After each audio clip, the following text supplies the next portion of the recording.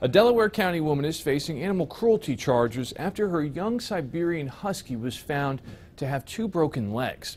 A Good Samaritan called in a tip to the Pennsylvania SPCA to investigate Tina Ray's home. Responding officers found this young female husky unable to walk. The dog, also named Tina, had two broken legs that had been untreated. She has since undergone multiple surgeries, and officials hope that she will make a full recovery. They claim that Ray deliberately ignored the dog's suffering. The dog's medical care has cost the SPCA over $10,000. Matt Yurus for CBS Philly.